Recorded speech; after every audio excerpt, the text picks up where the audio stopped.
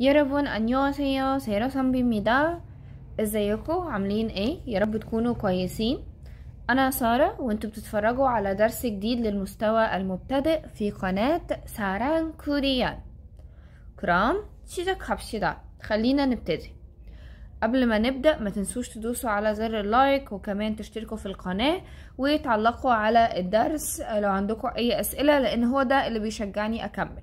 النهاردة معانا قاعدة جديدة لسه في نفس الوحدة اللي بتتكلم عن الغرض من الفعل. ودرسنا النهاردة هو ال 동사 زائد 으려고 الفعل زائد 으려고 تعالوا نشوف استخداماتها وكمان أمثلة عليها. يلا جهز كشكولك وقلمك وركز معايا. طيب 으려고 بستخدمها عشان أبين نية أو خطة المتكلم لفعل شيء. فالمتكلم الحاجة اللي هيعملها هتكون في الجملة التانية. ليه؟ عشان يحقق اللي اتذكر في الجملة الأولى. برضو بالعربي هيبقى بمعناها بغرض زي اورو كدا واودا اللي خدناها الدرس اللي فات. تعالوا نشوف الأمثلة عشان الصورة تبتدي توضح لنا.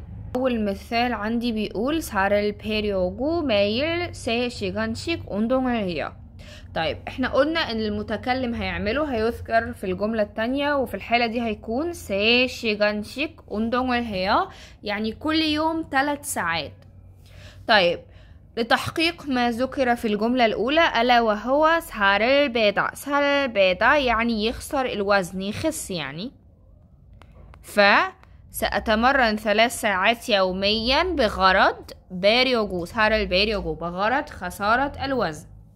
ليه هتتمرن في اليوم ثلاث ساعات؟ سعر الباريوجو بغرض خسارة الوزن.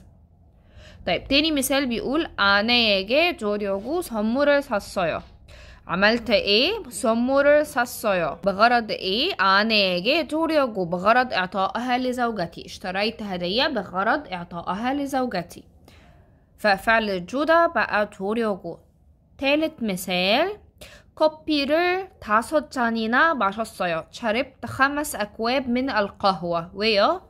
잠을 자지 않으려고 لكي لا أقع في النوم أو لكي لا أنام بغرض عدم النوم شربت خمس كوبايات قهوة بغرض تحقيق 잠을 자지 않으려고 تحقيق أن لا أنام أوكي تعالوا بقى نشوف التصريفات طيب الفعل لو منتهي بمتحرك أو 리을 أو منتهي بساكن. طبعا زي ما اتفقنا متحرك أو 리을 بتبقى 려고 على طول ساكن 으려고 ف 보다 هتبقى 보려고 먹다 هتبقى 먹으려고 طيب تعالوا نشوف أمثلة أكتر منتهية بمتحرك أو 리을 가다 هتبقى 가려고 만나다 만나려고 얘기하다 얘기하려고 놀다 놀려고 불다 불려고 لأن هي منتهية ب 리을 بتتعامل معاملة كأنها منتهية بمتحرك وبحط بعدها 려고 على طول.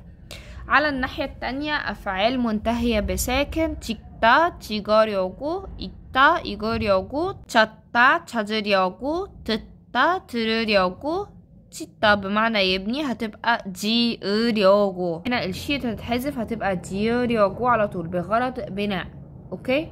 طيب 그럼 으러 가다 오다 오려고 한번 비교해 볼까요? تعالوا نجرب نعمل مقارنة ما بين 으러 가다 오다 اللي خدناها مع اللي خدناها المرة اللي فاتت وأريجو طيب أرو زي ما اتفقنا بتستخدم مع أفعال الحركة اللي لسه مشاف الدرس اللي فات يرجع يشوفه زي 오다 가다 다니다 올라가다 나가다 طيب فما ينفعش أقول 친구를 만나러 커피숍에서 친구를 기다려요 هنا فعل 기다리 ده ما ينفعش يجي مع 으로 لازم تستخدم مع فعل حركة 친구를 만나러 커피숍에 가요 이거 맞는 거예요 دي الطريقة الصح اللي احنا نستخدم 으로 لازم يبقى معاها فعل حركة ولكن على العكس 으려고 으려고 بتستخدم مع كل الأفعال فممكن أقول 친구를 만나려고 커피숍에 가요 이거 맞는 거예요. أو 친구를 만나려고 커피숍에서 친구를 기다려요. انتظرت صديقي في الكافيشوب بغرض لقائه. 이것도 맞는 거예요. فأريجو ممكن فعل حركة أو مش فعل حركة الاتنين 괜찮습니다. تاني ملحوظة عندي ان اروكادا واودا ممكن استخدمها مع الامر والاقتراح فمثلا ممكن اقول بابل مجرو 식당에 갑시다 أو قاجا أي صورة أو كالكايو أي صورة من صور الأمر والاقتراح ينفع استخدمها مع قاعدة أرو عادي وممكن استخدم كمان الميونيون أو الأمر بابل موغورو شيكتاني كاسيو أو كارا ممكن الأمر والاقتراح الاتنين صح ولكن في أريوجو قاعدة النهاردة ما ينفعش استخدم فيها ولا أمر ولا اقتراح بأي صيغة من الصيغ فما ينفعش أقول بابل موغوريوجو شيكتاني كابشيدا أو بابل موغوريوجو شيكتاني كاسيو الاتنين مش صح وما ينفعوش داين سربتي عنايا الكوريين ما بيقولوهاش بالطريقة دي تعالوا بقى نشوف الدهوة بتاعتنا النهاردة أول مثال عندي بيقول 정아씨 요즘 학원에 다녀요 بتروحي الحاجون حاجون يعني معهد لدراسة شيء معين معهد خاص يعني. دانيا يو يعني ترتادي يعني بتروحي بانتظام. قالت له 네 컴퓨터를 بيوريوغو 학원에 تانيغو 있어요 أجل أنا أرتاد المعهد لدراسة الكمبيوتر. اتفقنا اللي هيعمله في الجملة التانية حاجوني دانيغو إسايا بغرض تحقيق الجملة الأولى كمبيوتر بيوريوغو وحاجوني دانيغو إسايا لماذا؟ بغرض 원에 다니고 있어요 لماذا بغرض كمبيوتر 배우려고 تعلم الكمبيوتر تاني مثال 아까 만났는데 왜 또 전화했어요? احنا لسه متقابلين بتكلمني تاني ليه؟ 당신 목소리를 들으려고 전화했어요. يعني كلمتك عشان عايز أسمع صوتك. 전화했어요. 왜요? 목소리를 들으려고 بغرض سماع صوتك. وأخيرا 자려고 누웠는데 잠이 안 나요. يعني آه، استلقيت أو تمددت بغرض النوم ولكن مش جاي لي نوم. ونوصية جاريوجو عشان كنت عايزة أنام.